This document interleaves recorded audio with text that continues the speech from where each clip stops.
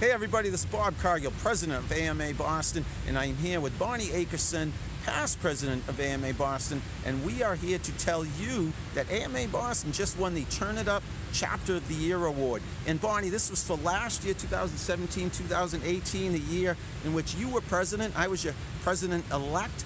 We couldn't be happier, folks, to talk about this award, to announce the fact that we won this award. And Bonnie, tell everybody a little bit more about this award. Yeah, we are thrilled. Thank you, Bob. I'm thrilled that Boston won. We haven't won an award like this from National in some time, and um, we rocked this year. I had a phenomenal team, and despite the hurdles and obstacles the team faced, we uh, were successful, and we documented everything and um, showed National what a phenomenal team we were, and we were rewarded for it. So I'm thrilled, absolutely thrilled we won.